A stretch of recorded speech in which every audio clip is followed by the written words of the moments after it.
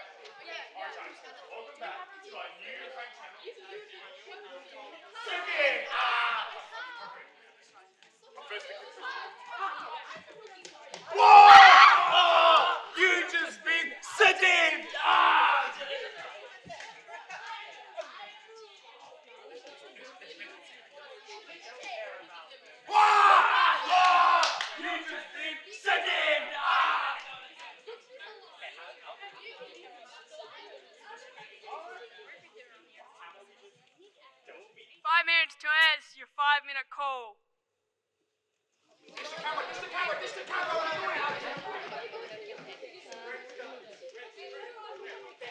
Mm, that's a little crooked. Wait a second. How's my tie?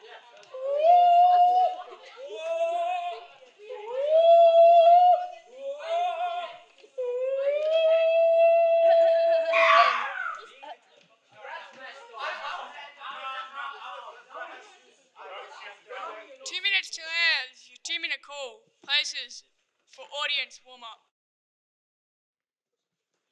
Good evening, ladies and gentlemen. Welcome to a live broadcast of WBFR Playhouse of the Air. We're less than two minutes away of going live on the airways, which gives me just enough time to introduce our fine acting ensemble cast who will be presenting this evening's play. Thank you, ladies and gentlemen. You're too kind. I'm getting the signal from our stage manager that we'll be on the air in 10 seconds. Thank you for coming and enjoy the broadcast. We're on the air in five, four, three.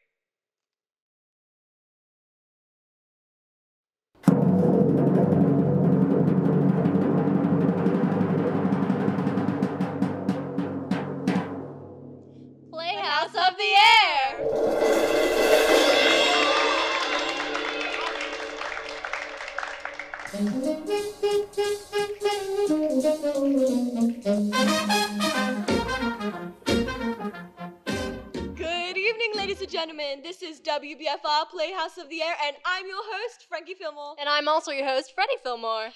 And we're here with you each and every week to present by radio the classics of literature, stage, and screen, as well as those headline making true life stories. Tonight, we present you with The latter, the reenactment of memorable scenes from one of the most fascinating events in recent history. For it was 10 years ago, during the final days of October 1938, that the Mercury Theater on the Air brought listeners their unique adaptation of H.G. Wells' science fiction classic, The War of the Worlds. And with it, history was made. To say the broadcast in question caused a bit of a stir would be a gross understatement.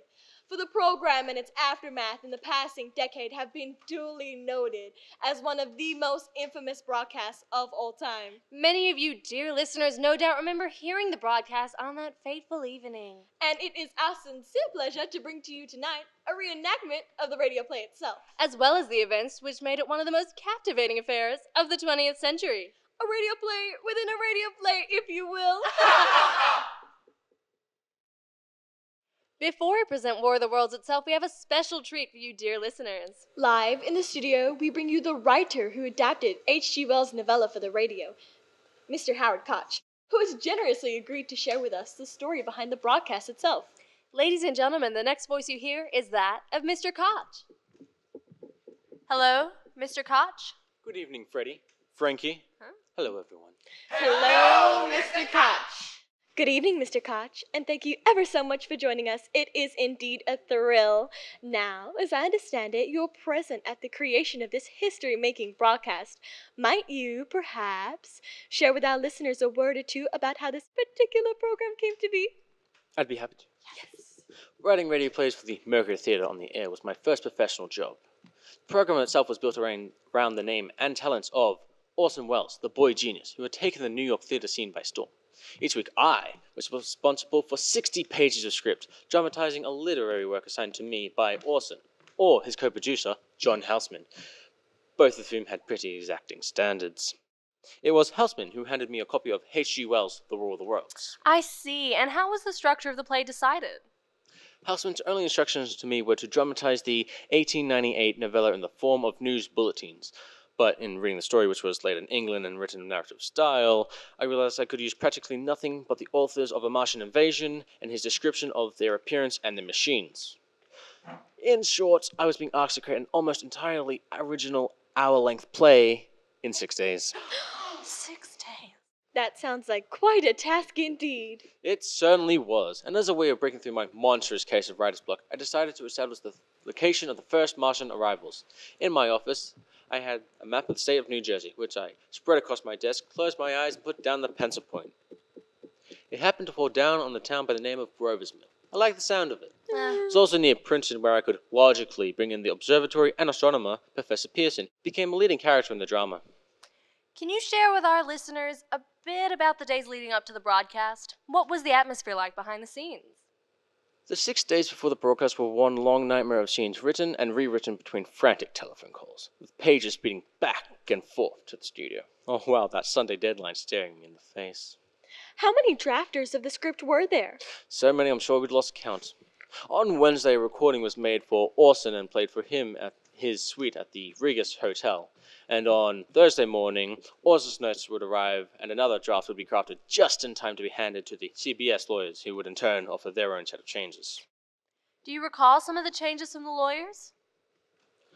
The lawyers gave the stipulation that several of the actual names and locations be changed. Hence, the Hotel Biltmore became the Park Plaza, the Transamerica became the International, President Roosevelt became the Secretary of the Interior, Bernard Herrmann and the CBS Orchestra became Roman Raquello and his orchestra.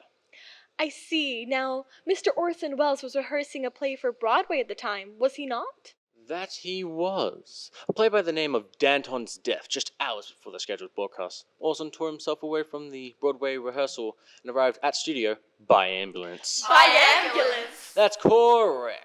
Orson learned that there was no law in New York that you have to be sick to ride in an ambulance. Not only was it quicker than a taxi, it provided an arrival which played nicely into the Wellesian dramatic flair for which he is famous.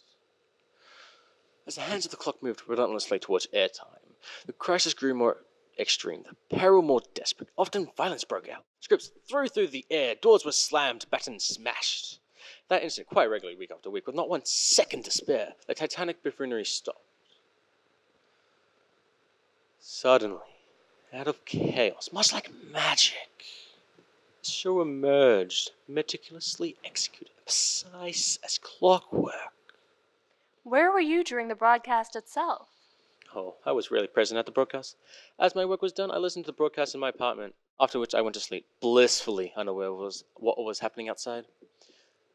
In a sense, I myself was one of the victims of the Halloween prank, as Orson later called it in a masterly understatement. A masterly understatement indeed. Thank you ever so much for joining us, Mr. Koch. It is indeed a thrill. Ladies and gentlemen, you have been listening to Mr. Howard Koch, who adapted H.G. Wells' War of the Worlds for the radio.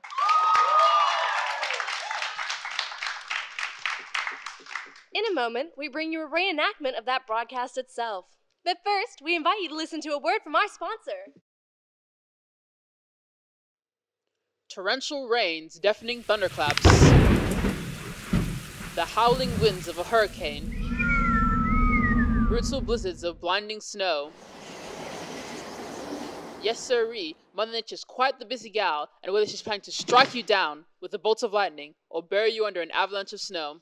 Avalanche! avalanche! Not to worry, for All American brand products have you covered. Why? All American brands have it all, from umbrellas in every fashionable color of the rainbow to flare guns and chainsaws.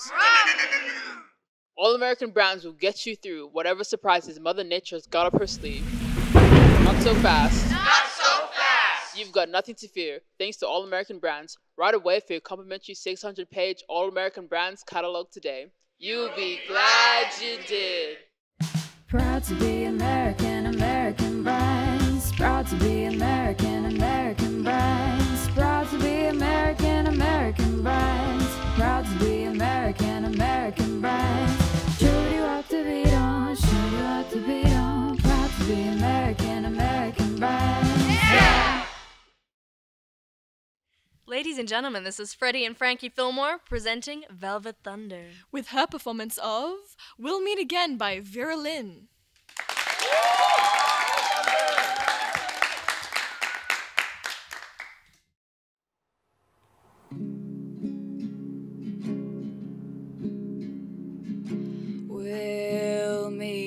Again. Don't know where, don't know when, but I know we'll meet again some sunny day.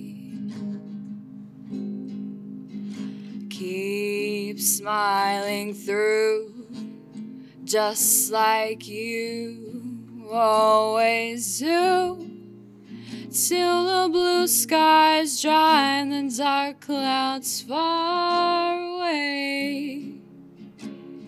So, will you please say hello to the folks that I know? Tell them I won't be long. They'll be happy to know that as you saw me go, I was singing this song. We'll meet again. Don't know where, don't know when, but I know we'll meet again some sunny day.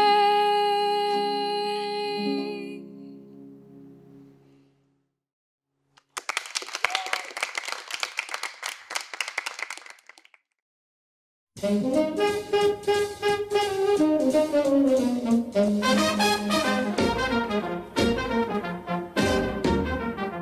back, ladies and gentlemen. This is Frankie Fillmore, And Freddie Fillmore. and you're listening to WBFR Playhouse of the Air. As tonight's story continues, we now take you one decade back in time. It is the evening of October 30th, 1938 at 7:58 p.m. Eastern Standard Time. We're in Studio One of the Columbia Broadcasting Building in Manhattan. There's an excitement in the air, a special thrill reserved for those final moments before the curtain rises. In the control room, producer John Houseman is running over some last-minute notes with a myriad of technicians. You guys have to make it seem real. You have to get it, make it real. This is some sham show we're putting on. Now, folks, folks, folks, now, folks. We are certain the cue line on page 12 will come up precisely at the time we discussed. Yes, Mr. Houseman, 12 minutes into the second. Excellent. Orson and I are counting on you. Now, let's review those handful of last minute changes. On the floor of the studio, as the cast prepares to go on the air, we hear composer and conductor Bernard Herrmann tuning up the Mercury's orchestra.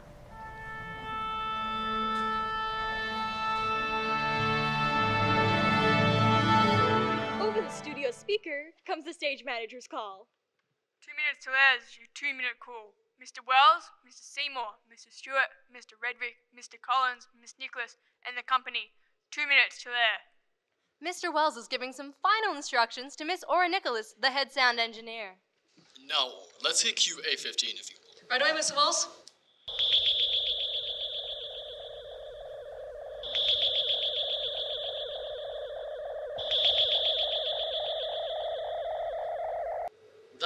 That's fine. A bit bit more intensity at the end, if you please. And remember to cut cue A34 like that. Will do, Mr. Welles. Very good.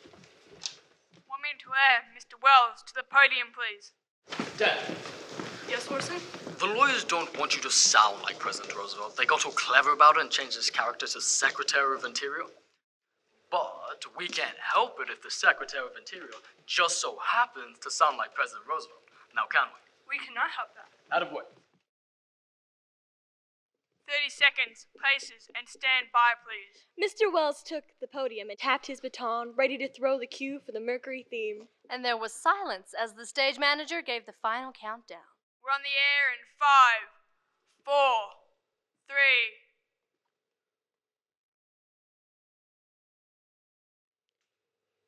The Columbia Broadcasting System and affiliated stations presents Orson Welles and the Mercury Theater on the air in The War of the Worlds by H.G. Wells.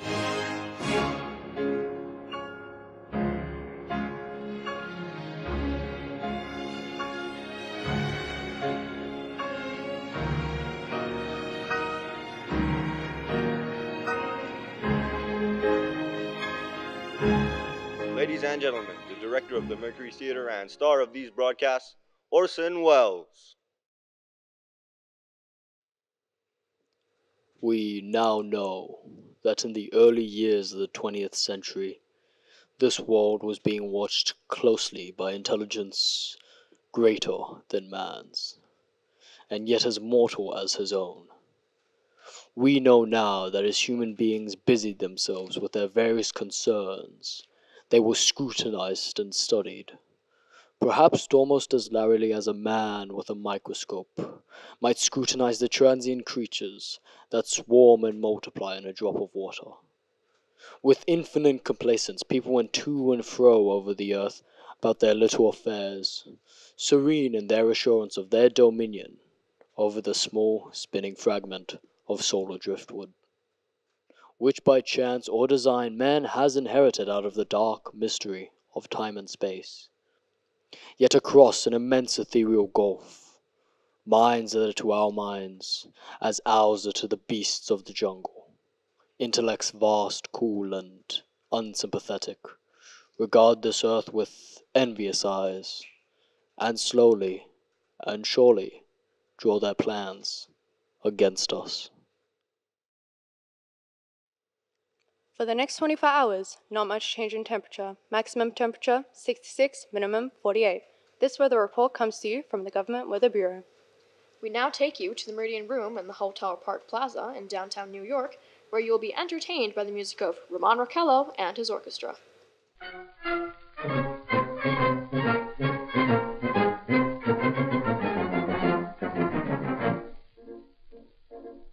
Good evening, ladies and gentlemen. From the Meridian Room in the Park Plaza in New York City, we bring you the music of Ramon Raquello and his orchestra, with a touch of the Spanish.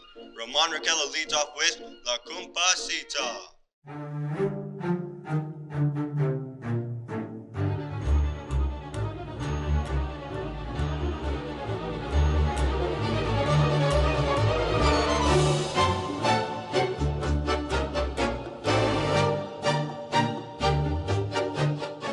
And gentlemen, we interrupt our program of dance music to bring you a special bulletin from the Intercontinental Radio News. At 20 minutes before 8 Central Time, Professor Farrell of Mount Jennings Observatory, Chicago, Illinois, reports observing several explosions of incandescent gas occurring at regular intervals on the planet Mars. The spectroscope indicates the gas to be hydrogen and moving towards Earth with enormous velocity.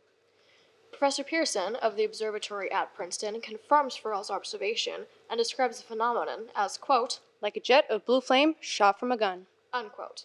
We now return you to music of Ramon Raquello playing for you in the Meridian Room of the Park Plaza Hotel, situated in downtown New York. Now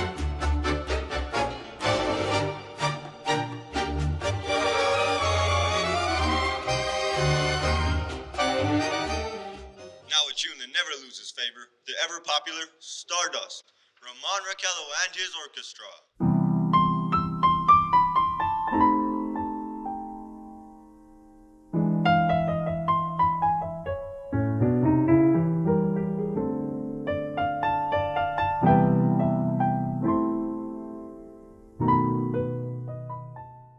Ladies and gentlemen, Following on the news given on our bulletin a moment ago, the Government Meteorological Bureau has requested the large observatories of the country to keep an astronomical watch of any further disturbances occurring on the planet Mars. Due to the unusual nature of this occurrence, we have arranged an interview with noted astronomer Professor Pearson, who will give us his views on the event. In a few moments, we'll take you to the Princeton Observatory at Princeton, New Jersey. We'll return you until then to the music of Ramon Raquello and his orchestra.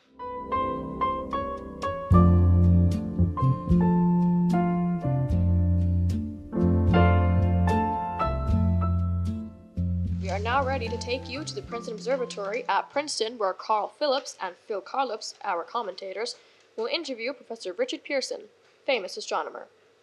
We take you now to Princeton, New Jersey. Good evening, ladies and gentlemen. This is Carl Phillips. And I'm Phil Carlips. We are speaking to you from the observatory at Princeton. Professor Pearson stands directly above me on a small platform, peering through giant lens. I ask you to be patient, ladies and gentlemen, during any delay that may arise during our interview. Besides his ceaseless watch of the heavens, Professor Pearson may be interrupted by telephone or other communications. During this period, he is in constant touch with the astronomical centers of the world. Professor, may we begin our questions? At any time. Professor, would you please tell our radio audience exactly what you see as you observe the planet Mars through your telescope? Nothing unusual at the moment. A red disk swimming in a blue sea. Transverse strips across the disk, quite distinct now, because uh, Mars happens to be the point nearest the Earth. In opposition, as we call it. In your opinion, what do these transverse stripes signify, Professor Pearson? Well, from a scientific viewpoint, these stripes are merely a result of atmospheric conditions peculiar to the planet Mars. Then you're quite convinced, as a scientist, that living intelligence as we know it does exist on Mars? Well, I'd say the chances against it are a thousand to one. and yet, how do you account for those gas eruptions occurring on the surface of the planet at regular intervals? Well, Mr. Phillips, I cannot account for it. By the way, Professor, for the benefit of our listening audience, how far is Mars from Earth? Approximately 40 million miles. Well, that seems a safe enough distance. Thank you. Just a moment, ladies and gentlemen. Someone has just handed Professor Pearson a message. Uh, ladies and gentlemen, uh, one moment, please. Professor Pearson has passed us a message which he has just received. Professor, may we read the message to the listening audience? Certainly. Ladies and gentlemen, we shall read you a wire address to Professor Pearson from Dr. Gray of the National History Museum, New York. 9:15 p.m. Eastern Standard Time. Seismograph registers shock of almost earthquake intensity occurring within a radius of 20 miles of Princeton. Please investigate. Signed, Lloyd Gray, Chief of Astronomical Division. Uh, Professor Pearson, could this occurrence possibly have something to do with the disturbances observed on planet Mars? Hardly, Mr. Phillips. This is probably a meteorite of unusual size, and its arrival at this particular time is merely a coincidence. However, we shall conduct a search as soon as daylight permits. Thank you, Professor. This is Phil Carlips. And I'm Carl Phillips. We are returning you now to our New York studio.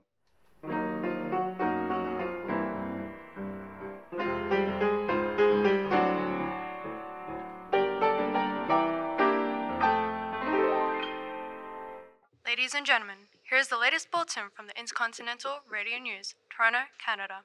Professor Morse of McGill University reports observing a total of three explosions on the planet Mars between the hours of 7:45 p.m. and 9:20 p.m. Eastern Standard Time. This confirms earlier reports received from the American observatories. Now, nearer home comes a special announcement from Trenton, New Jersey. It is reported that at 8:50 p.m., a huge flaming object believed to be a meteorite fell on a farm in the neighborhood of Grover's Mill, New Jersey, 22 miles from Trenton. The flash in the sky was visible within a radius of several hundred miles. We have dispatched a special mobile unit to the scene. In the meantime, we take you to the Hotel Marinette in Brooklyn, where Bobby Millen and his orchestra are offering a program of dance music.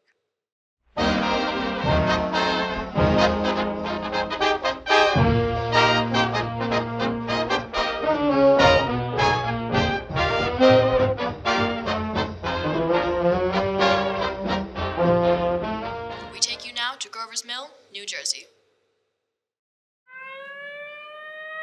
Ladies and gentlemen, this is Carl Phillips again. And Phil Carlips again. We're at Wilmuth Farm, Grover's Mill, New Jersey. Professor Pearson and we just made the 11 miles from Princeton in just 10 minutes. Well, I hardly know where to begin to paint for you a word picture of this strange scene before our eyes, like something out of a modern Arabian Nights. Yes. Well, we just got here, and I haven't had a chance to look around yet, but I guess that's it. I guess that's the thing. Directly in front of me, half buried in vast pit. Must have struck with terrific force. The ground is covered with splinters of a tree it must have struck on its way down. What I can see of the object itself doesn't look very much like a meteor, at least not the meteors I've seen. Yes, I agree. It it looks more like a cylinder to me. Uh, it has a diameter of uh, what would you say, Professor Pearson? What's that? What would you say? What is the diameter? About 30 yards. About 30 yards. The metal on the sheen is, well, I've never seen anything like it. The color is sort of yellowish white. Curious spectators are now pressing close to the object in spite of the efforts of the police to keep them back. They're getting in front of my line of vision. Would you mind standing to one side, please? One side there, one side. While the policemen are pushing the crowd back, here's Mr. Wilmuth, owner of the farm here. He may have some interesting facts to add. Mr. Wilmuth, would you please tell our radio audience as much as you remember of this strange visitor that dropped in your backyard? Step closer, please. Ladies and gentlemen, this is Mr. Wilmuth. Well, I was listening to the radio. Uh, closer and louder, please. Pardon me? Louder, please, and, and closer. Yes, sir. While I was listening to the radio and kind of drowsing, the professor fellow was talking about Mars, so I was half dozing and half. Yes, yes, Mr. Wilmuth. And then what happened? Well, as I was saying, I was listening to the radio, kind of halfways. Yes, Mr. Wilmuth, and then you saw something? No, first off, I heard something. And what did you hear? A hissing sound, like.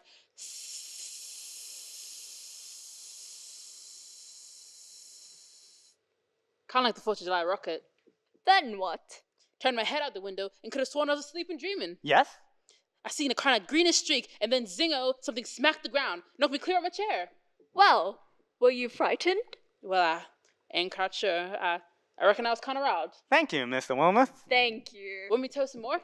No, that's quite all right. That's plenty. Ladies and gentlemen, you've just heard from Mr. Wilmuth, owner of the farm where this thing has fallen. I wish we could convey to you the atmosphere, the background of this fantastic scene. Hundreds of cars are now parked in the field in the back of us. Police are trying to rope off the roadway leading to the farm, but it's no use. They're breaking right through. Cars' headlights throw an enormous spot on the pit where the object's half buried. Some of the more daring souls are now venturing near the edge. Their silhouettes stand against the metal sheen. Uh, I see that one man wants to touch the thing, and he's ha- having an argument with the policeman. The policeman wins. Now, ladies and gentlemen, there's something I haven't mentioned in all this excitement, but now it's becoming more distinct. Perhaps you've already caught it on your radios. Or listen. Do you hear it? It's a curious humming sound that seems to come from inside the object. We'll move our microphones nearer. Now we're not more than 25 feet away. Can you hear it now? Oh, Professor Pearson. Uh, can you tell us the meaning of that scraping noise inside the thing? Possibly the unequal cooling of its surface. I see. Do you still think it's a meteor, Professor? Well, I don't know what to think. The metal casing is definitely extraterrestrial, not found on this Earth. Friction with Earth's atmosphere usually tears holes in a meteorite. This thing is smooth and, as you can see, of cylindrical shape. Just a minute. Something's happening. Ladies and gentlemen, this is terrific. This end of the thing is beginning to flake off. The top is beginning to rotate like a screw. This thing must be hollow. Ladies and gentlemen, this uh this is the most terrifying thing I've ever witnessed. Wait a minute. Someone's calling out of the hollow top. Someone or something. I can see peering out of the black hole two luminous discs. Are they eyes? It might be a face. It it might be a Good heavens! Something's wriggling out of the shadows like a gray snake. Now it's another one. And another one. they look like tentacles to me.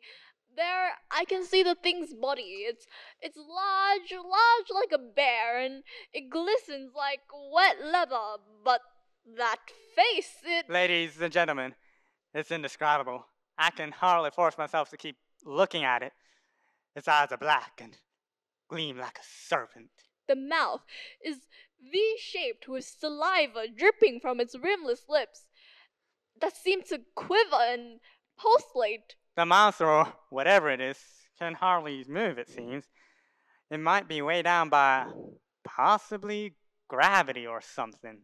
Yes, but the thing's raising up. The crowd falls back now. They've seen plenty. This is the most extraordinary experience. I can't find words. We'll pull our microphones with us as we talk. We'll have to stop the description until we can take a new position. Hold on, will you please? We'll be right back in a minute. We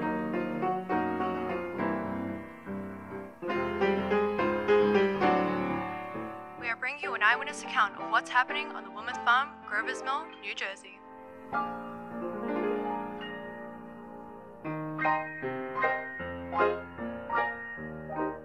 Ladies and gentlemen, are we on?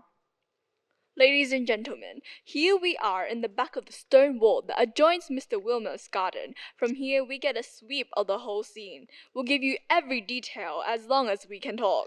As long as we can see. More police have arrived. They're drawing up a cordon in front of the pit. About uh, 30 of them? No need to push the crowd back now, however. They're willing to keep their distance. The captain is conferring with someone. We can't quite see who. Ah, oh yes, I believe it's Professor Pearson. Yes, it is.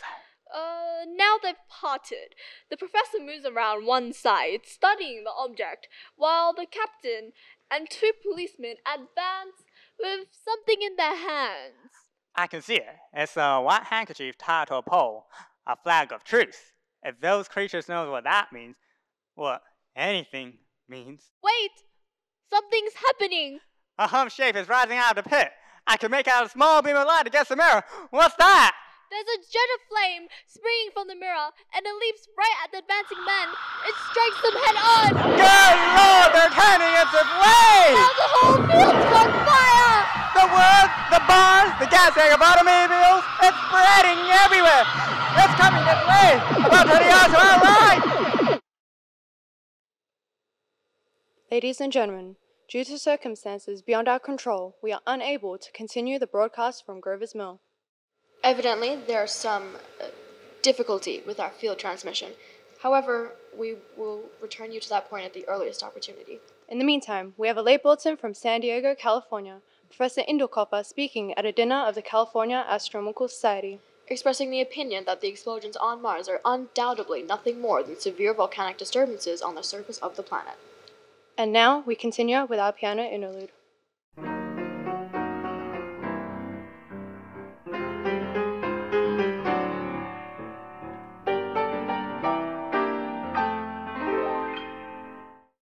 Ladies and gentlemen, I have just been handed a message that came in from Grover's Mill by telephone. Just a moment. At least 40 people, including six state troopers, lie dead in a field east of the village of Grover's Mill, their bodies burned and distorted beyond all possible recognition. The next voice you hear will be that of Brigadier General Montgomery Smith, commander of the state militia at Trenton, New Jersey. I've been requested by the governor of New Jersey to place the counties of Mercer and Middlesex as far west as Princeton and east to Jamesburg under martial law. No one will be permitted to enter this area except by special pass issued by state or military authorities. Four companies of state militia proceeding from Trenton to Grover's Mill and will aid in the evacuation of homes and the range of military operations. Thank you.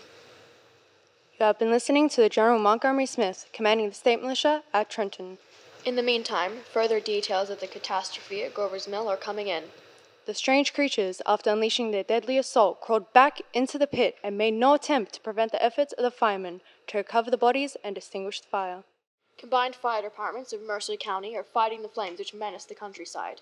We have been unable to establish any contact with our mobile unit at Grover's Mill, but we hope to be able to return you there at the earliest possible moment. In the meantime, we take you. Uh, just one moment, please. Ladies and gentlemen, I have just been informed that we have finally established communication with an eyewitness of the tragedy.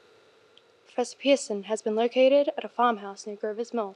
We have established an emergency observation post.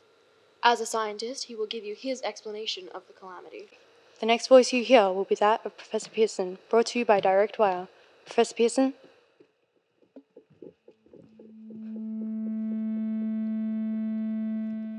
Of the creatures at the rocket cylinder at Grover's Mill, I can give no authoritative information, either as to their nature, their origin, or their purpose here on Earth. Of their destructive instrument, I might venture some conjectural explanation. For want of a better term, I shall refer to this mysterious weapon as, well, as a heat ray. It's all too evident that these creatures have scientific knowledge far in advance to our own. It is my guess that in some way they are able to generate an intense heat in a chamber of practically absolute non conductivity. This intense heat they project in a parallel beam against any object they choose by means of a polished parabolic mirror of unknown compensation. Much as a mirror of a lighthouse projects a beam of light. This is my conjecture of the origin of the heat ray. Thank you, Professor Pearson. Ladies and gentlemen, here's a bulletin from Trenton. It is a brief statement informing us that the charred bodies of Carl Phillips and Phil Carlips have been identified in a Trenton hospital. Now, here's another bulletin from Washington, D.C. The Office of the Director of the National Red Cross reports 10 units of Red Cross emergency workers have been assigned to the headquarters of the state militia stationed outside Grover's Mill, New Jersey. Here is a bulletin from State Police, Princeton Junction. The fires at Grover's Mill and vicinity are now under control.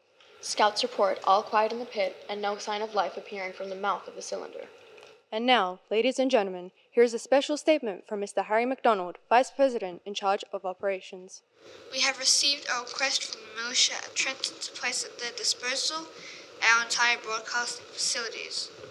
In view of the gravity of the situation and believing that radio has responsibility to serve the public interest at all times, we are turning over our facilities to the state militia at Trenton. We take you now to field headquarters of the state militia near Grover's Mill, New Jersey. This is Captain Lang of the Signal Corps, and joining me is my colleague Captain Singh.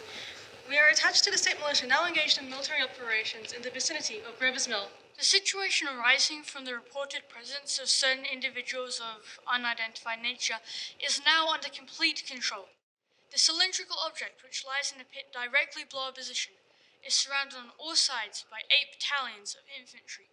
Without heavy field pieces, but adequately armed with rifles and machine guns, all calls for alarm, if such cause ever existed, is now entirely unjustified. Things, whatever they are, do not even venture to poke their heads above the pit. I can see their hiding place plainly in the glare of the searchlights here. With all their reported resources, these creatures can scarcely stand up against heavy machine gun fire. Anyway, it's an interesting outfit to the troops. I can make out their khaki uniforms crossing back and forth in front of the lights. It looks almost like a real war. There appears to be some slight smoke in the woods bordering Millstone River. Probably fire side of big campus. Well, we ought to see some action soon. One of the companies is deploying on our left flank. A quick thrust and it will all be over. Now wait a minute, I see something on top of the cylinder. No, it's nothing but a shadow. Now the troops are on the edge of the Wilmer farm, 7,000 armed men closing in an old metal tube. Wait, that wasn't a shadow. It's something moving, solid metal, some kind of shield-like affair rising on top of the cylinder. It's going higher and higher. Why, it's standing on legs, actually rearing up on a sort of metal framework. Now it's reaching above the trees and the searchlights are on it. Hold on. Ladies and gentlemen, we have a grave announcement to make. Incredible as it may seem, both the observations of science and the evidence of our eyes lead to the inescapable assumption that those strange beings who landed in the Jersey farmlands tonight are just the vanguard of an invading army from the planet Mars. The battle which took place tonight at Grover's Mill has ended in one of the most startling defeats ever suffered by any army in modern times. 7,000 men, armed with rifles and machine guns, pitted against the single fighting machine of the invaders from Mars. 120 known survivors. The rest strewn over the battle area from Grover's Mill to Plainsboro, crushed and trampled to death under the metal feet of the monster, or burned to cinders by its heat ray. The monster is now in control of the middle section of New Jersey and has effectively cut the state through its center. Communication lines are down from Pennsylvania to the Atlantic Ocean. Railroad tracks are torn, and service from New York to Philadelphia discontinued, except routing some of the trains through Allentown and Phoenixville. Highways to the north, south, and west are clogged with frantic human traffic. Police and army reserves are unable to control the mad flights. By morning, the fugitives will have swelled Philadelphia, Camden, and Trenton. It is estimated to twice their normal population. At this time, martial law prevails throughout New Jersey and eastern Pennsylvania. We take you now to Washington for a special broadcast on the national emergency. The Secretary of the Interior. Citizens of the nation, I shall not try to conceal the gravity of the situation that confronts the country, nor the concern of your government in protecting the lives and property of its people. However, I wish to impress upon you, private citizens and public officials, all of you, the urgent need of calm and resourceful action. Fortunately, this formidable enemy is still confined to a comparatively small area, and we may place our faith in the military forces keep them there. In the meantime, placing our faith in God, we must continue the performance of our duties, each and every one of us, so that we may confront this destructive adversary with a nation united, courageous, and consecrated to the preservation of human supremacy on this earth. I thank you. You have just heard the Secretary of Interior speaking from Washington. Bulletins too numerous to read are piling up in the studio here. We are informed that the central portion of New Jersey is blacked out from radio communication due to the effect of the heat ray upon power lines and electrical equipment. Here's a special bulletin from New York. Cables received from English, French, and German scientific bodies offering assistance. Astronomers report continued gas outbursts at regular intervals on the planet Mars. Majority voice opinion that the enemy will be reinforced by additional rocket machines. Attempts made to locate Professor Pearson, who has observed Martians at close range. It is feared he was lost in recent battle. Langham Field, Virginia. Scouting planes report three Martian machines visible above treetops, moving north towards Somerville, with population fleeing ahead of them. Heat ray not in use. Although advancing at express train speed, invaders pick their way carefully. They seem to be making conscious effort to avoid destruction of cities and countryside. However, they stop to uproot power lines, bridges, and railroad tracks. Their apparent objective is to crush resistance, paralyze communication, and disorganize human society.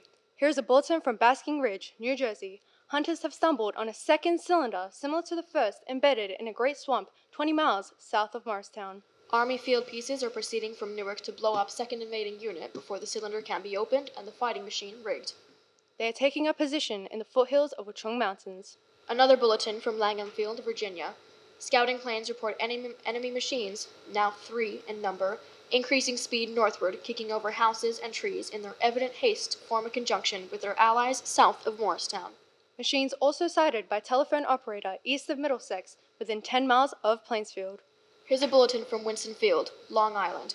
Fleet of Army bombers carrying heavy explosives flying north in pursuit of enemy. Scouting planes act as guides. They keep speeding, enemy in sight. Just a moment, please. Ladies and gentlemen, we've run special wires to the artillery lines and adjacent villages to give you direct reports in the zone of the advancing enemy. First, we take you to the battery of the 22nd Field Artillery, located in the Watchung Mountains. Range 32 meters. 32 meters. Projection 39 degrees. 39 degrees. Fire! 140 yards to right, sir. Shift range 31 meters. 31 meters. Projection 37 degrees. 37 degrees. Fire! Hit, sir. We got a tripod on one of them.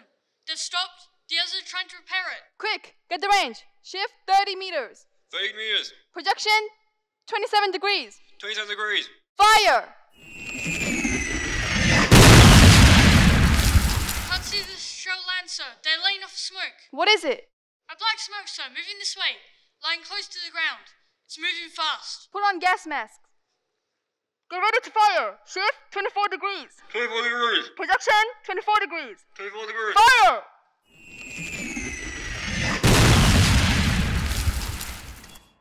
Still can't see, sir. The smoke is coming nearer. Got the range. 23 meters. 23 meters. Projection 20 degrees. 22 degrees.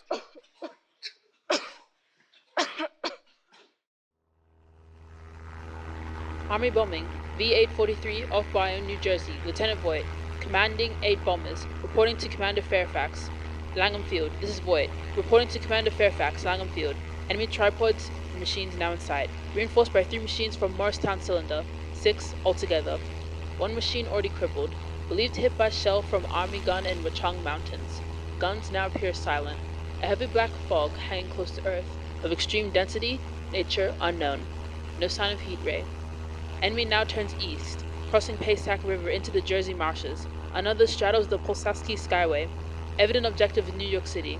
They're pushing down a high tension power station. The machines are close together now, and we're ready to attack. Planes circling, ready to strike. A thousand yards and we'll be over the first. 800 yards. 200. 400. There they go, the giant arm raised. Green flash, they're spraying us with flame. 2,000 feet, engines are giving out. No chance to release bombs. Only one thing left. Jump with them. Plane and all. We're diving on the first one. Now the engine's gone. Eight.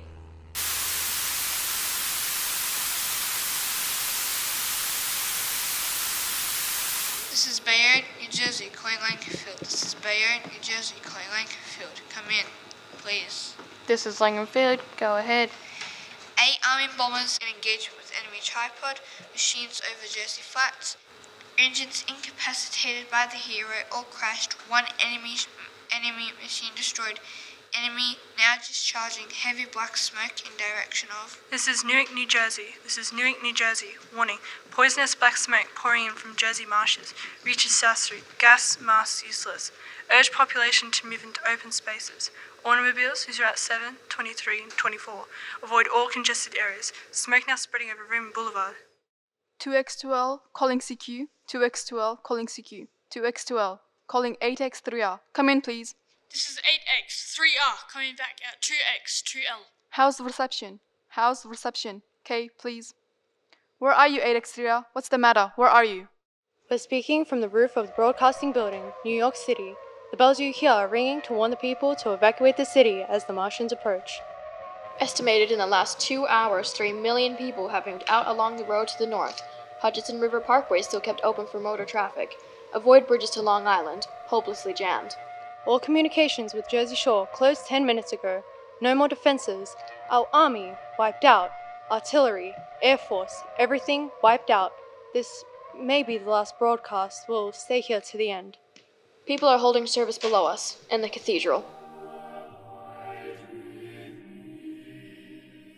Now we look down the harbour. All manner of boats are overloaded with fleeing population, pulling out from docks. Streets are all jammed, noise and crowds like New Year's Eve in the city. Wait a minute. Enemy now inside above the palisades. Five, five great machines. First one is crossing river. I can see it from here, wading the Hudson like a man wading through a brook. A bulletin's handed to me. Martian cylinders are falling all over the country. One outside of Buffalo, one in Chicago, St. Louis. They seem to be timed and spaced. Now the first machine reaches the shore. It stands watching, looking over the city. Its steel, cowlish head is even with the skyscrapers. He waits for the others. They rise like a new line of new towers on the city's west side. Now they're lifting their metal hands. This is the end now. Smoke comes out. Black smoke drifting over the city. People in the streets see it now. They're running towards the East River. Thousands of them dropping in like rats. Now the smoke's spreading faster. It's reached Times Square. They're trying to run away from it, but it's no use. They're falling like flies. Now the smoke's crossing 6th Avenue, 5th Avenue, 100 yards away. It's 50 feet.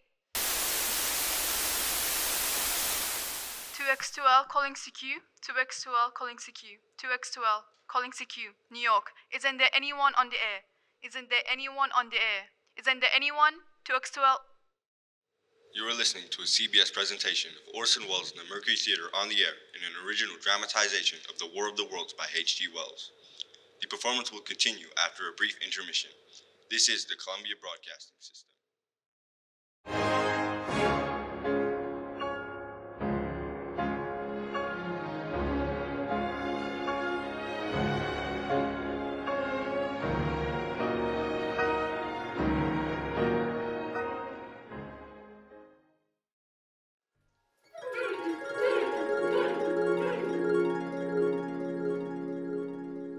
Gentlemen, this is Freddie Fillmore. And Frankie Fillmore. Returning you briefly to the WFBR building in the WBFR Playhouse of the Air. If you're just tuning in, you've been listening to a special program this evening, a reenactment of the infamous 1938 broadcast War of the Worlds.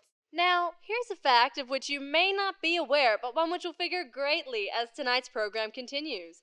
The Mercury Theater on the Air, produced by Orson Welles and John Houseman some 10 years ago, did not have a sponsor. They were a relatively new program and had not yet gained the backing of a sponsor who would require regular interruptions at regular intervals for their commercial advertisements. You may have noticed the lengthy stretch of our program tonight, which has gone by without commercial interruption, and we are performing it as such to recreate the experience as the listeners heard the broadcast on that fateful evening a decade back. It is a small wonder that a great number of listeners who tuned in after the announcement was made when the program began, but tuned out before the next announcement at the station break we're taking now, may have well thought that what they were hearing was absolutely real. Just how many of them thought we were being invaded by Martians? How many of them thought their time on our dear planet was coming to its very end? And what of Orson Welles and his company of actors in the studio? Did they have any idea the cavalcade of panic their little radio play was causing listeners? Stay tuned and find out. Now, the Mercury Theater of the Air may not have had a sponsor, but WBFR Playhouse does, and a fine one at that. the wonderful folks at All American Brands. And we'll be back from a word from them now. Happy anniversary, darling. Why, honey, you remembered. Well, I must confess, I did have a little help. Oh, did you circle the date on the calendar? Better than that, I got a reminder telephone call from All American Brands two weeks ago, and they helped me plan an anniversary you'll never forget. If you'd be so kind as to step out into the backyard with me, my dear.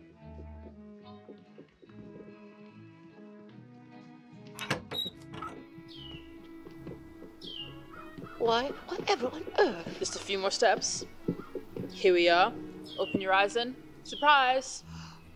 Darn, a hot air balloon, just what I always wanted. How did you know? It was simple. You had it on your All American Brands list of dreams. Why, I did, but it was only a dream. Well, now it's a dream come true. Shall we take it for a spin? Oh, yes, please.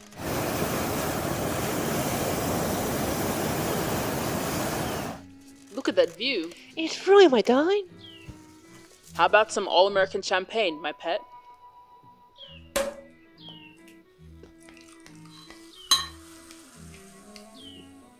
Delicious. And here's a little something else for you, my love.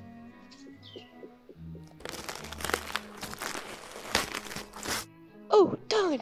It's an all American brand lace pistol for a monogram powered pink grip. Now I feel safe when you say all this late night at the office with your secretary. Yeah? And here's a ticket for you. Oh, it's so huge. Only for the best of you, dear. Is this what I think it is? Is this an all American brand man's machine gun? You betcha. Now you have all the power you need when you go on those long hunting weekends with your handsome man friends. I can't wait to try it out. No time like the present. I loaded it this morning. And I loaded yours. Shall we? Be my guest.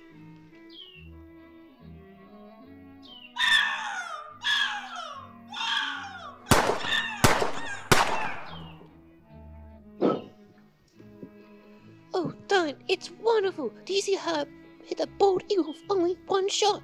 Not bad for a lady. I'll say, why, darling, you're wonderful. And now it's your turn, dear. Stand back.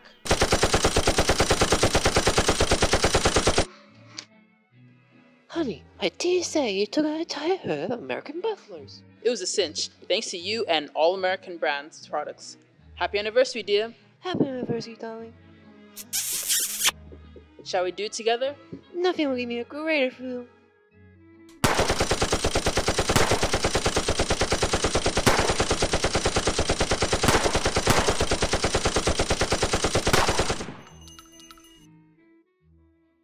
Make every day as wonderful as your anniversary with All American Brand products. Right away for your complimentary 600 page All American Brands catalog today. You'll be glad you did. Proud to be American,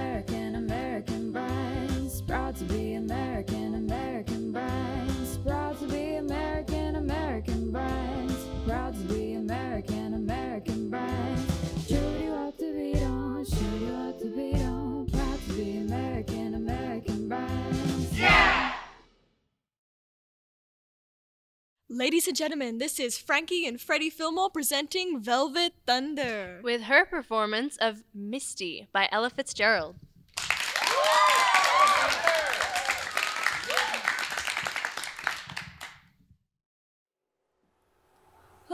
Look at me. I'm as helpless as a kitten up a tree. And I feel like I'm clinging to a cloud.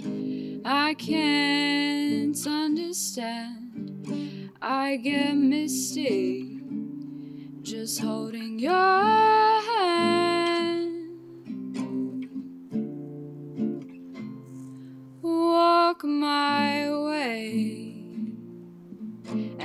Thousand violins begin to play. Or it might be the sound of your hello, that music I hear. I get misty the moment you're near.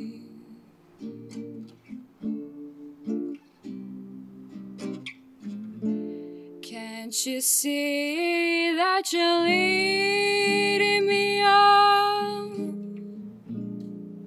But it's just what I want you to do.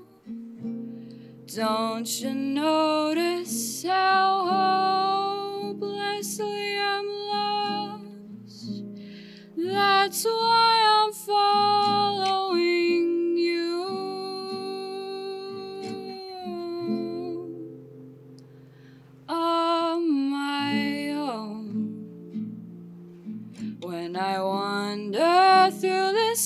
this wonderland alone, never knowing my right foot from my left, my hat from my glove. I'm too misty and too much in love too misty and too much in love.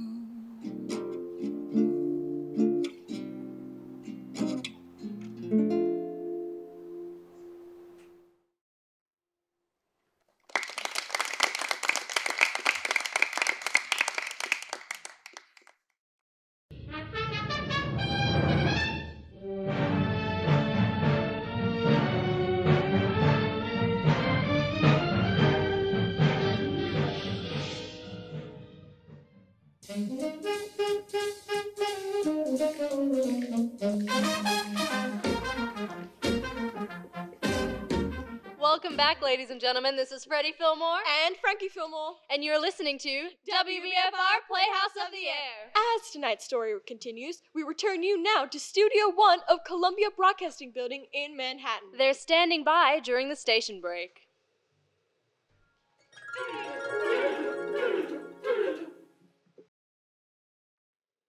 Back on air in two minutes. As the actors prepare for their second act of the play, producer John Houseman rushes out of the control room to Mr. Welles. Orson, Why, John, you're as white as a sheet. What the devil's going on? you're not going to believe this. Try. Listeners have been called to the switchboard. They're in a panic. Panic? Why? They think it's real. Did you hear that, folks? Laugh all you want, Orson, but the CBS bigwigs aren't laughing. Believe me, they've been in control for the past 10 minutes, demanding a station break. And we're giving them one now. I had to do everything within my power to stop them from taking us off the air. And you did a fine job at such, my boy, but I don't see the call for such a hullabaloo, John. After all, it's only a play. But the listeners, Orson, they don't think it's a play. They think it's really happening. Well, that's the point.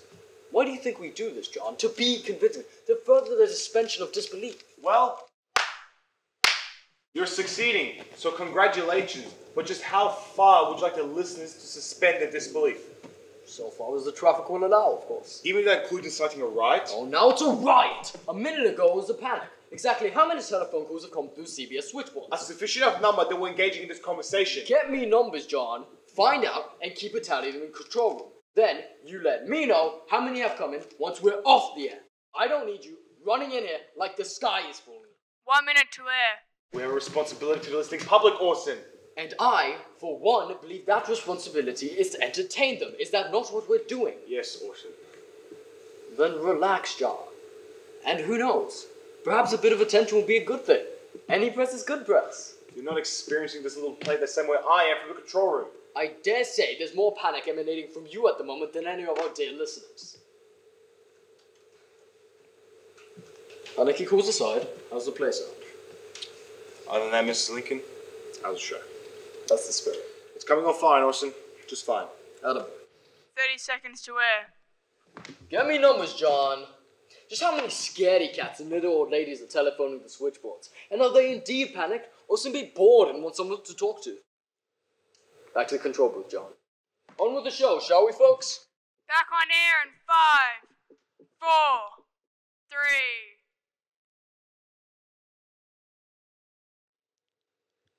You are listening to a CBS presentation of Orson Welles and the Mercury Theater on the Air, in an original dramatization of The War of the Worlds by H.G. Wells.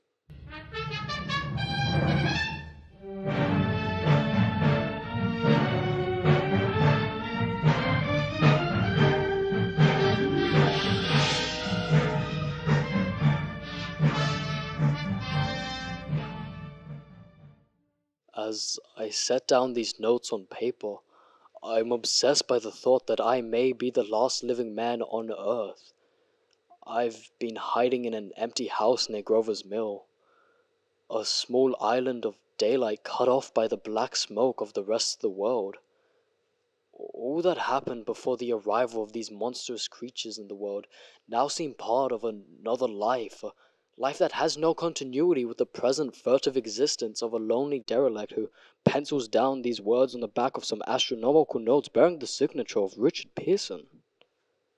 I look down at my blackened hands, my torn shoes, my tattered clothes, and I try to connect them with a professor who lived in Princeton, and who on the night of October 30th glimpsed through his telescope a orange splash of light on a distant planet.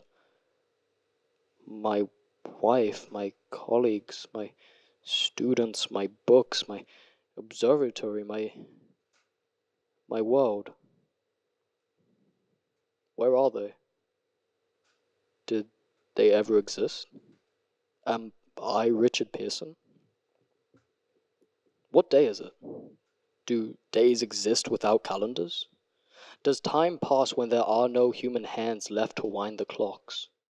In writing down my daily life, I tell myself I shall preserve human history between the dark covers of this little book that were meant to record the movement of the stars. But to write, I must live, and to live, I must eat. I find moldy bread in the kitchen and an orange not too spoiled to swallow. I keep watch at the windows. From time to time, I catch sight of a Martian above the black smoke. The smoke, it holds the house in its black coil. But at length there's a hissing sound. Suddenly I see a Martian mounted on his machine, spraying the air with a jet of steam as if to dissipate the smoke. I watch in a corner as the huge metal legs nearly brush against the house. Exhausted by terror, I fall asleep. It's morning. Morning. Sun streams in the window. The black cloud of gas has lifted, and the scorched meadows to the north look as though a black sandstorm has passed over them. I venture from the house. I make my way to a road. There's no traffic. Here and there, a wrecked car, baggage overturned, a, a, a blackened skeleton. I push on north. For some reason, I feel it's safer trailing these monsters than running away from them, and I keep a careful watch. I have seen the Martians feed. Should one of those machines appear over the top of the trees, I'm ready to fling myself flat on the earth. I come to a chestnut tree. October chestnuts are ripe. I fill my pockets. I must keep alive. Two days I wander in a vague northerly direction through a desolate world. Finally, I notice a living creature a small red squirrel in a beech tree. I stare at him in wonder. He stares back at me. I believe at that moment the animal and I shared the same emotion the joy of finding another living being. I push on north. I find dead cows in a brackish field, beyond the charred remains of a dairy. This silo remains standing guard over the wasteland like a lighthouse deserted by the sea. Astride the silo preaches a weathercock. The arrow points north.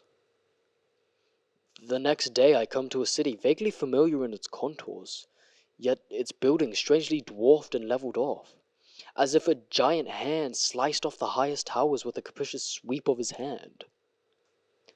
I reached the outskirts. I found Newark, undemolished but humbled by some whim of the advancing Martians. Presently, with an odd feeling of being watched, I caught sight of something crouching in a doorway. I made a step towards it, and it rose up and became a man. A man armed with a large knife. Stop! Where did you come from? Uh, I come from many places. A long time ago, Princeton. Princeton, huh? That's near Grover's Mill. Yes? Grover's Mill.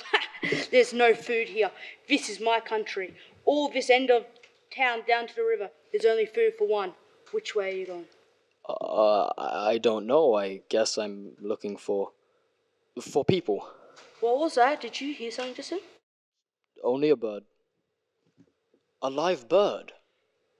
You get to know that birds have shadows these days. Say, we're in the open here. Let's crawl into this doorway and talk. Have you seen any. Martians? Nah, they've gone over to New York. At night, the sky is alive with their lights, just if people were still living in it. By daylight, you can't see them. Five days ago, a couple of them carried something big across the flats from the airport. I believe they were learning how to fly. Fly? Yeah, fly. Then it's all over with humanity. There's still you and I, two of us left. They've got themselves in solid. They've wrecked the greatest country in the world. Those green stars, they're probably falling somewhere every night. They've only lost one machine. There isn't anything to do. We're done. We're licked. Where were you? You're in a uniform. Yeah, what's left of it? I was in the militia National Guards. That's good. Wasn't any war any more than there's war between men and ants. And we're edible ants. I found that out. What will they do with us? I fought it all out. Right now, we're caught as we're wanted. The Martians only have to go a few miles to get a crowd on the run, but they won't keep doing that. They'll begin catching us systematic like, keeping the best and storing us in cages and things. They haven't begun on us yet. Not begun. Not begun. All that's happened so far is because we don't have sense enough to keep quiet, bothering them with guns and such stuff and losing our heads and rushing off in crowds. Now, instead of us rushing around blind, we've got to fix ourselves up. Fix ourselves up according to the way things are now. Cities, nations, civilization, progress, done. But if that's so, what is there to live for? Well, there won't be any more concerts for a million years or so, and no nice little dinners at restaurants. If it's amusement you're after, I guess the game's up. And what is there left? Life, that's what. I want to live, and so do you. We're not gonna be exterminated, and I don't mean to be caught either and tamed and fattened and bred like an ox. Then what are you going to do? I'm going on, right under their feet. I've got a plan. We men as men are finished. We don't know enough. We've got to learn plenty before we've got a chance, and we've got to live and keep free while we learn. See, I fought it all out. See. Tell me the rest. Well, it isn't all of us who are made for the wild beast, and that's what's got to be. That's why I've watched you. All these little office workers that used to live in these houses, they'll be no good. They hadn't any stuff to them. They just used to run off to work. I've seen hundreds of them running wild to catch the community trains in the morning for fear they'd get canned if they didn't. Running back at night, afraid they won't be in time for dinner. Lives insured and a little invested in case of accidents. And on Sundays, worried about the hereafter. The Martians will be a godsend for those guys. Nice roomy cages, good food, careful breeding, no worries. After a week or so chasing about the fields on empty stomach, they'll come and be glad to be caught. You've really thought this all out, haven't you? You bet I haven't, that isn't all. These Martians will make pets of some of them, train them to do tricks. Who knows? Get sentimental over the pet boy who grew up and had to be killed. And some, maybe, they'll train to hunt us. No, that's impossible. No human being Yes, would. they will. There's men who do it gladly. If one of them ever come after me, why? In the meantime, you and I and others like us, where are we to live when the Martians own the Earth? I've got it all figured out. We'll live underground. I've been thinking about the sewers. Under New York are miles and miles of them. The main ones are big enough for anybody. Then there's cellars, vaults, underground storerooms, railway tunnels, subways. You begin to see. And we'll get a bunch of strong men together. No weak ones. That rubbish out. And you meant me to go? Well, I gave you a chance, didn't I? We won't quarrel about that. Go on. And we've got to make safer places for us to stay in. See and get all the books we can. Science books. That's where men like you come in. See, we'll raid the museums. We'll even spy on the Martians. It may not be so much we have to learn before. Just imagine this. Four or five of our own fighting machines st- suddenly start off. Hit rays right and left and not a Martian in them. Not a Martian in them, but men. Men who have learned the way how. It may even be in our time. Gee, imagine having one of them lovely things with its heat ray wide and free. We'll turn it on Martians. We'll turn it on men. We'll bring everyone down to their knees. That's your plan? You and me and a few more of us would own the world. I see. Say, what's the matter? Where are you going? Not to your world. Goodbye. After parting with the artilleryman, I come to the last Holland tunnel. I enter the silent tube anxious to know the fate of the great city on the other side of the Hudson. Cautiously, I come out of the tunnel and I made my way up Canal Street. I reached 14th Street, and there again were black powder and several bodies and an evil, ominous smell from the gratings of the cellars of some of the houses. I wandered up the 30s and 40s. I stood alone in Times Square. I caught sight of a lean dog running down 7th Avenue with a piece of dark brown meat in his jaws and a pack of starving mongrels on his heels. He made a wide circle around me as though he feared I might prove a fresh competitor. I walked up Broadway in the direction of the strange powder, past silent shop windows displaying their mute wares to empty sidewalks, past the empty guns faced in an arrest line of wooden docks. Near Columbus Circle, I noticed models of a 1939 motor cars in the showroom facing empty streets. Over the top of the General Motors building, I caught sight of a flock of black birds circling the sky. I hurried on. Suddenly, I caught sight of a hood of a Martian machine standing somewhere in Central Park, gleaming in the late afternoon sun. An insane idea. I rushed recklessly across Columbus Circle into the park. I climbed a small hill above the pond at 60th Street. And from there I could see, standing in a silent row along the mall, nineteen of those great metal titans, their cows empty, their great steel arms hanging listlessly by their sides.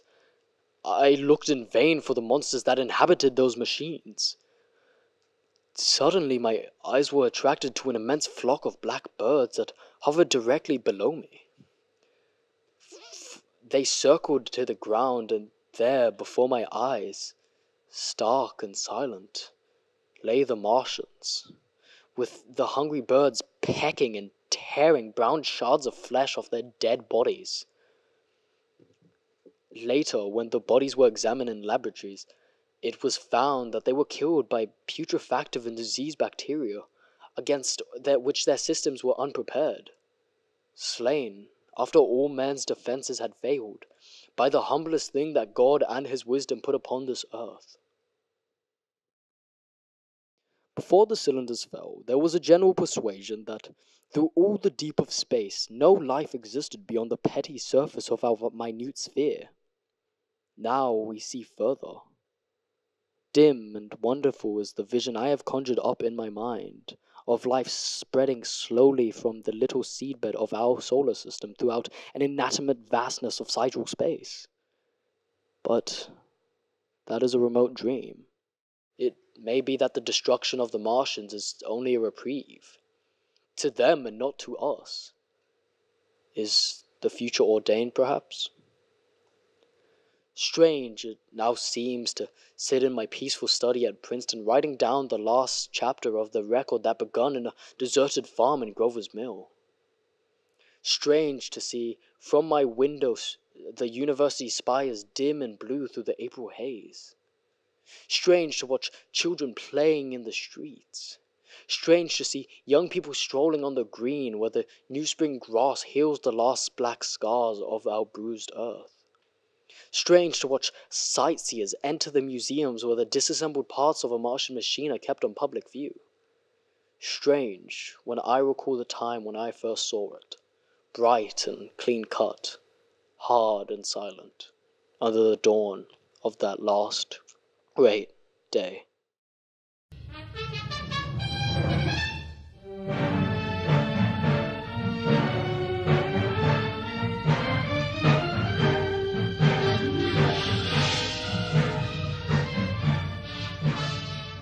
This is Orson Welles, ladies and gentlemen, out of character to assure you that the War of the Worlds has no further significance than the holiday offering it was intended to be.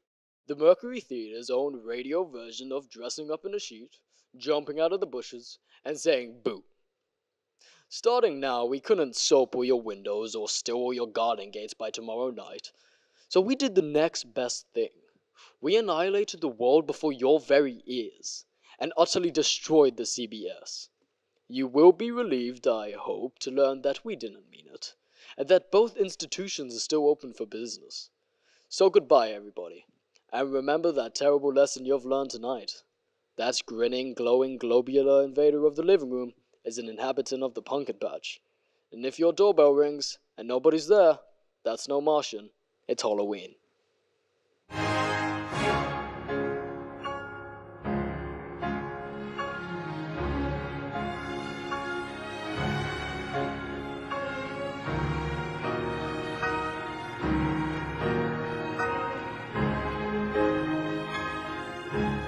Tonight, the Columbia Broadcasting System and its affiliated stations coast to coast have brought you The War of the Worlds by H.G. Wells, the 17th in its weekly series of dramatic bro- broadcasts featuring Orson Welles and the Mercury Theater on the air.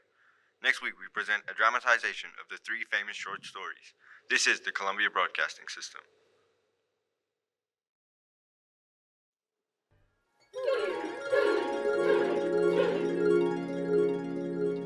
And with that, ladies and gentlemen, the Mercury's plague came to an end. By this time, the control room at CBS was full of police and reporters who producer John Houseman was trying to hold off from barging into the studio. But now that the broadcast had concluded, just how long could he keep them at bay? And what of the listeners who'd been frantically calling into the switchboards? How would the public, swept up in waves of hysteria caused by this Halloween prank, come to change the lives of Orson Welles, Howard Koch, and the future of broadcasting itself? Stay tuned and find out after a word from our sponsor. Merry Christmas, everyone. Christmas already? Wow, time sure flies when you're spending quality time with your family in your all-American deluxe backyard bomb shelter. Oh, you two. Merry Christmas, Mother! Merry Christmas, one and all, and you can't ask for a finer Christmas than one brought down by the chimney by All American Brands. Oh boy, can we look for our stocking now? You sure can look through your All American Brand stocking hung on the mat of All American Brand's fireplace with care, son.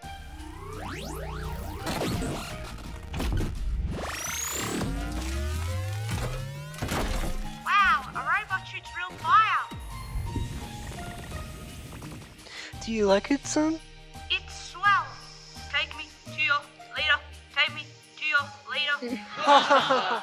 and look what All American Brands has put in your stocking, dearest daughter. Pony. Oh joy. Whether you're celebrating an All American Brands deluxe backyard bomb shelter or in one of the new All American Brands suburban communities that are popping up all over the, this wonderful country of ours, you can make Christmas every day with the fine line of All American Brand products. Right away for your complimentary 600 page All American Brands catalog today. You'll be glad you did. Proud to be American, American. Proud to be American.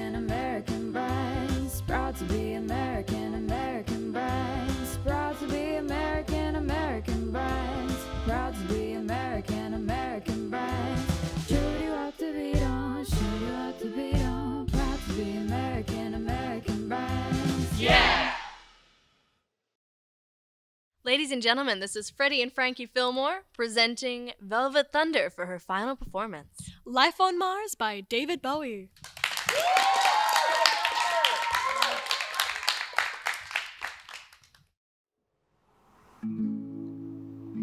It's a god awful small affair to the girl with the mousy hair. But her mommy is yelling no, and her daddy has told her to go. But her friend is nowhere to be seen as she walks to her sunken dream to the sea with the clearest view. And she's hooked to the silver screen. But the film is a saddening bore. For she's lived it ten times or more. She could spit in the eyes of fools as they ask her to focus on sailors fighting in the dance hall.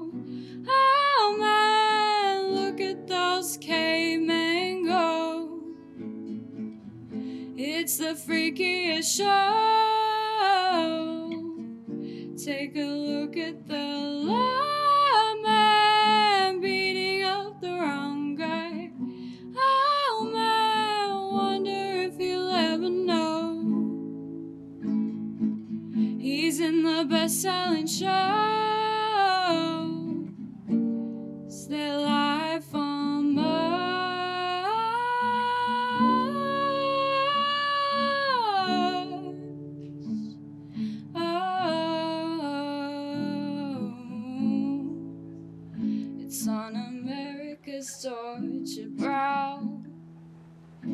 Mickey Mouse has grown up a cow. And now the workers have struck for fame. Cause Lennon's on sale again. See the mice in their million hordes. From Ibiza to the Norfolk Broads. Rule Britannia is out of bounds.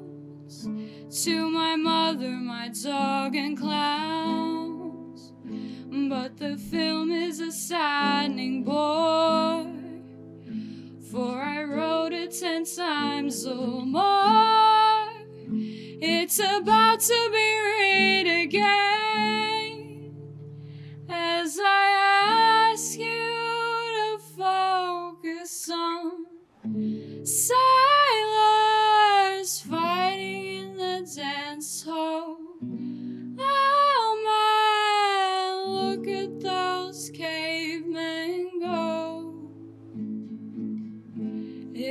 freakiest show.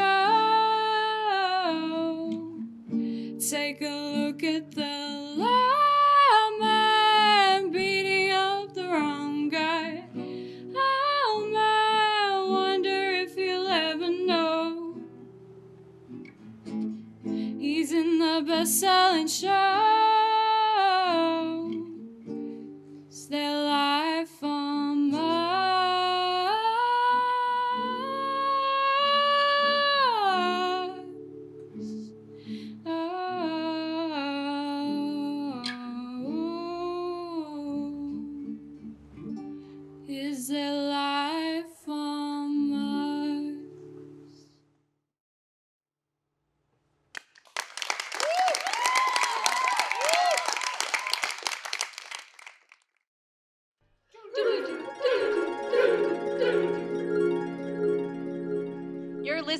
WBFR Playhouse of the Air. This is Freddie Fillmore. And Frankie Fillmore. We return you now to the evening of October 30th, 1938. We're still in Studio One at CBS, and the Mercury Theater on the Air has just finished broadcasting their adaptation of H.G. Wells' The War of the Worlds. The control room was packed like sardines with police and reporters. Producer John Houseman and other CBS employees made their way into the studio, and all hell broke loose. The script and then burn them. Go, go! John, what the devil is this? Get out the script, all of them. Get all the scripts, every last one of them! Whatever for? We're disposing them immediately, and the recordings too. As far as we're concerned, that last hour did not happen. John, you're hysterical. Orson, the police are here. The police? Why? Well, when the listeners couldn't get through to CBS switchboard, they started telephoning the police. And when the police couldn't get through to our switchboard, they decided to come here in person. Now, John, this is lunatic. Call it what you will, Orson. There are police and reporters too, all of them most eager to speak with you. Just send them away. I try that, Orson, but they refuse to leave. And why are they oh so patiently waiting in the control room? I will not say patiently. I told them we were still in the air, but it won't be long before they realize I wasn't telling them the truth. Over a hundred telephone calls on the switchboards? Has the world gone mad? In a word, yes. But look, don't worry. You duck out the back and go to your rehearsal. You've got actors waiting at the theater. I'll handle the police and press. No, I'll handle them. Send them in. Are you certain? Let's at least see what this is all about. Let them in. gentlemen, gentlemen, and ladies, I can grant you but a few minutes of my time at the present because I am late for another rehearsal. One at a time, please, if there's any possibility in holding these proceedings in a civil manner. First things first. Officer, have you come to arrest me? Am I to be dragged off in handcuffs? Uh, well, sir, the thing of it is. Speak up. well, sir, the thing of it is, is that I, is that I should arrest you for your own safekeeping. My safekeeping. Isn't that thoughtful? Safekeeping from what, pray tell? Cause quite a stir out there, Mr. Welles. Have I broken any laws? Ah, no, sir. There's no line of what you've done. And you can't very well place a radio program under arrest now, can you? Ah, no, sir. I may ask your kind assistance in safekeeping from the gentlemen and ladies of the press, but let's see what they have to say for themselves, shall we? Mr. Welles! One at a time, please. How many deaths have you heard of? Deaths, plural, as if one would have been enough. Have there been deaths? Oh. There has been rumours of a number of deaths. The death of whom? Your listeners, the audience, a lot of them believed your damn play was real and it set them off running into the streets. And some of them perished? How so? Mobs can get pretty ugly sometimes. Look, there are no Martians, there was no attack. Are you speaking from fact? Do you have any actual evidence beyond rumors that harm has come to anyone at all? What do you know about the fatal stampede in New Jersey? What about the traffic deaths? And the suicides? Suicides? How on earth, in one hour's time, could such sordid events already be reported as fact? Did any of you even listen to the broadcast this evening? Not only is it a work of fiction, as clearly stated at least three times during the course of the past hour, but how on earth could anyone possibly believe the content of the play could play out in real time? The Martians land, the militia is deployed, and play out a full scale air battle. The world as we know it was on the brink of collapse all in the first 30 minutes. I mean, come on. Fair point. Certainly your intention was for the show to put terror listeners throughout the nation, was it not? Oh, no, of course not. You see, we did Dracula, and it seemed to me during Dracula that I had high hopes as people would that people would react as they do in the movie of that kind. And I didn't know that they did particularly, and so I'd given up. One doesn't believe in the radio. You have no idea how many people are listening and what they're thinking. I had every hope that they would be as excited as they are for a melodrama. And, well, you don't downplay the melodramatic effect of, well, over melodrama. Mr. Welles, why did you use the name of a local town in your broadcast? Well, in the original, H.G. Wells was addressing an English audience, and we're addressing an American audience, so the transplantation is really quite logical. He didn't use mythical towns. What, but why didn't you use the name of a mythical town?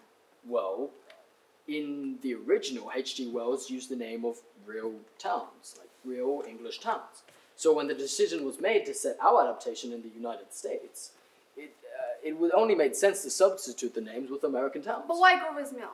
Well, that was, to my understanding, a completely random decision by the writer of tonight's play, Mr. Howard Koch. Do you think, Mr. Welles, that you might have taken unfair advantage of the public by using the conveyance of authentic news? I don't believe that I have, since it's a method not original to me. Um, it's used by many radio programs. Times. I'm terribly shocked by the effect it had, but I don't believe it's a method original to me or the Mercury Theatre's presentation. Do you believe there ought to be a war about the events of this evening? Well, I don't know what the legislation would be. I know that almost everybody in radio would have done anything to avert the type of thing that has happened, myself included. But I simply don't know what the legislation would be. Radio is new, and we're learning all new things about it. We've learned a terrible lesson. Do you think that this will cause the curbing of radio bulletins on the air today? I simply can't imagine it. It seems that the effect of this may cause much legislation I simply do not know. It is up to the wisdom of the radio executives and an organized public to decide these things for us. It is not up to me to speak. I am the accused. Gentlemen, gentlemen, gentlemen, and ladies, please, my name is John Houseman, and I'm the producer of this program. And Mr. Welles has no further comments at this time. Our formal press conference will be arranged as soon. I'd like to make one more final comment, if I may. Every radio program tries to be more dramatic than life. Every play tries to be more dramatic than life. And every movie not less so. I would have been surprised and as hurt as anybody would have been if they told me my presentation was less effective than mine. Now, if you will kindly excuse me.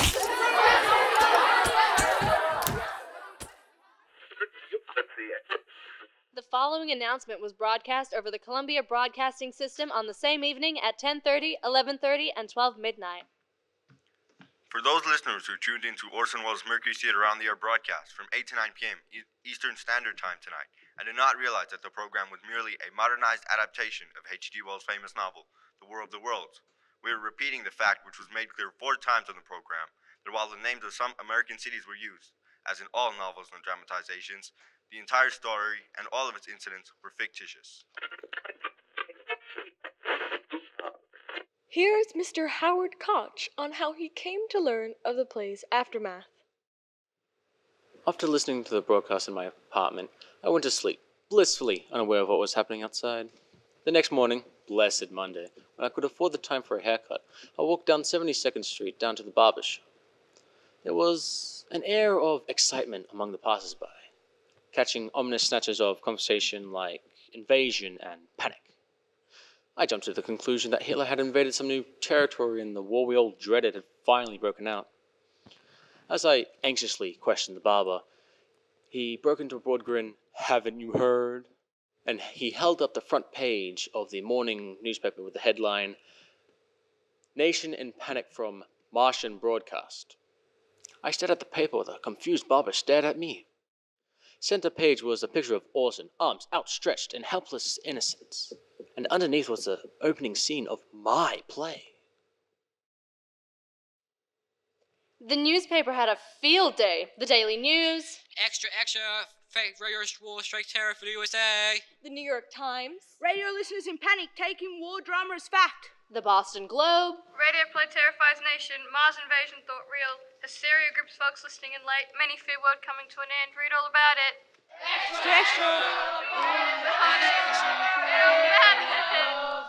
From coast to coast, there were reports of families rushing out of their homes, piling into cars, and heading off to parts of unknown.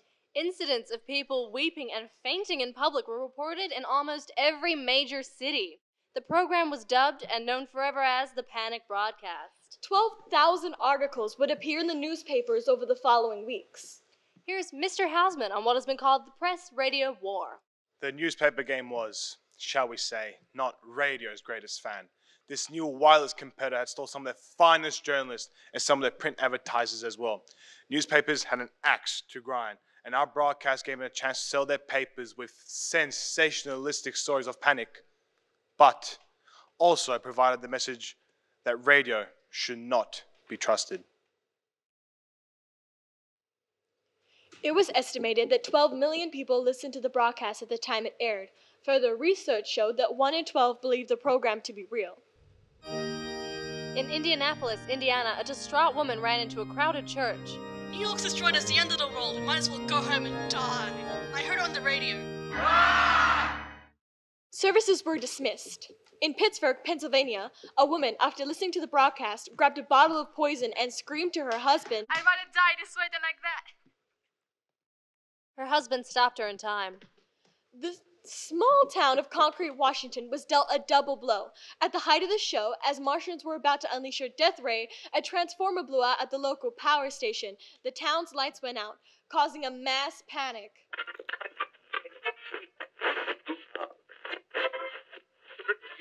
On the following morning, Halloween, a press conference was held at CBS. Do you want me to speak now? I'm sorry. It came as a great surprise to me that a story, a fine H.G. Wells classic fantasy, the origin for so many succeeding comic strips and adventure stories and novels about a mythical invasion of monsters from the planet Mars, should have such a profound effect upon listeners. The date of the broadcast was clearly stated as being 1939, and the idea of a mythical invasion of monsters from the planet Mars seemed to be clear to us, at least, in the realm of fairy tale.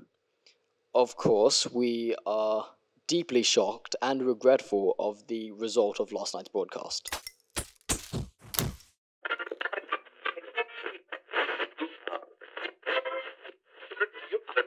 Most newspaper columnists bitterly condemned the broadcast as a horrible Halloween prank on innocent, unsuspecting people. Against Orson Welles and the Columbia Broadcasting System for their wrongdoing. Welles's performance on Sunday evening was a clear demonstration of his inhuman instincts and his fiendish joy in causing distress and suffering all over the nation.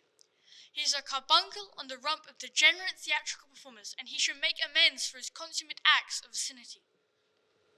Now, I appreciate what CBS and radio have done for the world, but why not respect that appreciation and not destroy all faith and confidence we have in the greatest means of getting information about the world, radio? Still, hundreds of listeners praised the broadcast as a public service, writing letters to CBS and Orson. Gentlemen, and Orchid too, and to all of the cast of The War of the Worlds. Also, shame on you for giving me the scare of my life. Let me congratulate you on your broadcast. Thanks for a wow of a thrill. More power to you. The Martians' visitation upon this earth was a masterpiece of realism. Journalist Dorothy Thompson applauded Orson in her widely read column. Hitler managed to scare all of Europe to its knees a month ago, but at least he had an air force, an army, to back up his shrieking words.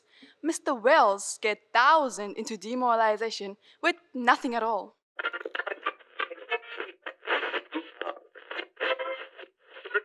After five postponements, Danton's Death opened on Broadway on the evening of November the 2nd. Here's Mr. Welles on that play's opening. On the on the day of the opening, my life was threatened. There was someone who kept telephoning every quarter of an hour saying, You will die on the opening night of your play. At the end of the play, I had to give a speech in the character of Saint Just on the subject of French Revolution. I stood in front of a curtain in a blazing white spotlight, and I assure you, I had never been so terrified in my life. I was waiting to hear the sound of a pistol being cocked, convinced that some angry victim of the last night's broadcast would be shooting at me as I delivered my speech.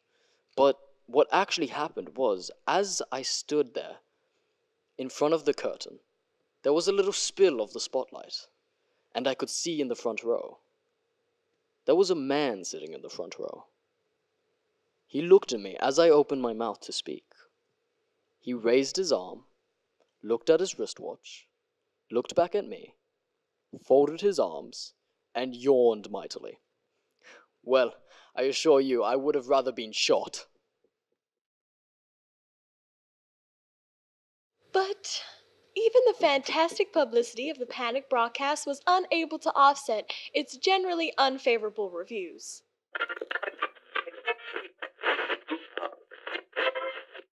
Lawsuits piled up and legal actions were filed against CBS and Orson, totaling more than a million dollars, and claimed damages, injuries, miscarriages, and distresses of various kinds as a result of the presentation.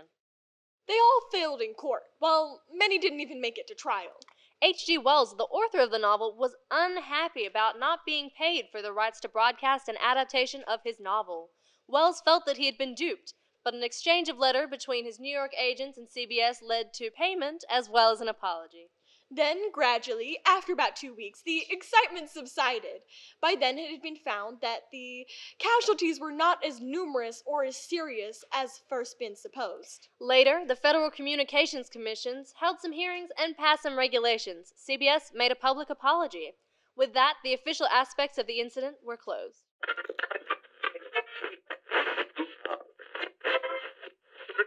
Despite the War of the World's dismal rating, the fury it created proved to Campbell's Soup Company that people were listening, and they signed on as a sponsor at the most lavish vigor. Beginning December 9th, the Mercury Theater became the Campbell Playhouse.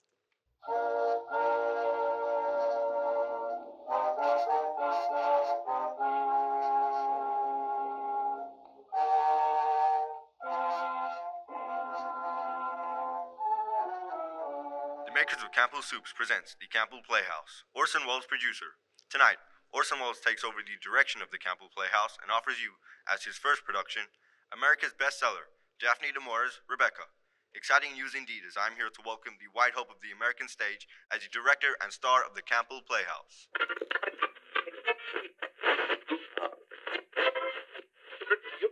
In 1939, the year following War of the Worlds, Orson went to Hollywood, where he went on to make pictures for RKO, including Citizen Kane and the Magnificent Ambersons. Mr. Howard Koch went to Hollywood as well, where he was the screenwriter of the Warner Brothers pictures Sergeant York and Casablanca.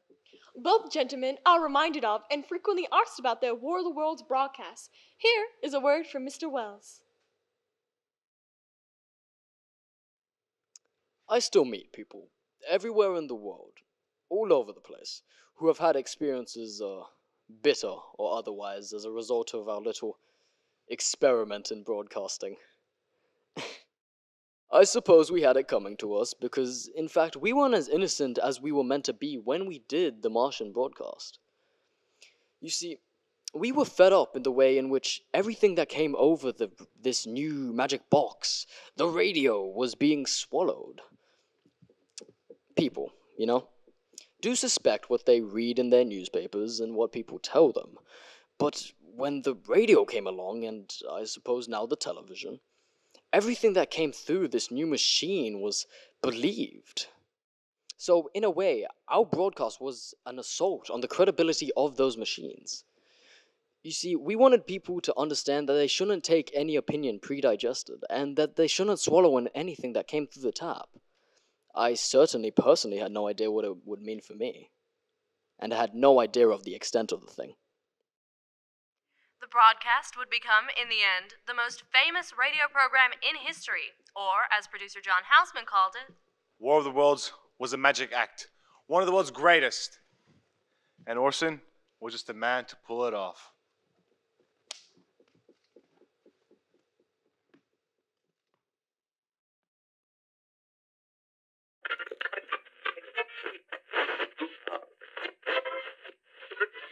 Ladies and gentlemen, you have been listening to the WBFR Playhouse of the Air. I'm your host, Freddie Fillmore. And I'm your host, Frankie Fillmore. Brought to you this and every week by All American Brands. Good night.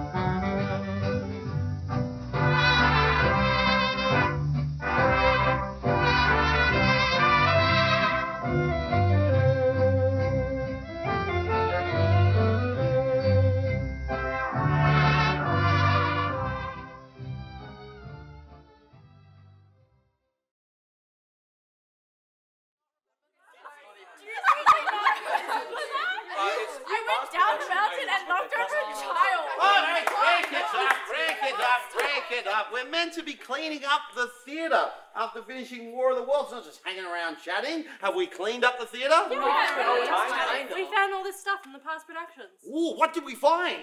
Well, we found this Sign from Rope. Oh, yeah, that was a great show. We got this hoodie from Labyrinth. Oh, yeah, I loved Labyrinth. I didn't. Got this fabulous jacket from the Miser. Oh, it was a fabulous show too. Ooh, a candlestick. What's this for? Really? Production last year. Clue? Oh yeah. Mr. Lloyd, I found this hat, but I'm not sure what past production this is from. Oh, this, this is not a hat from the past.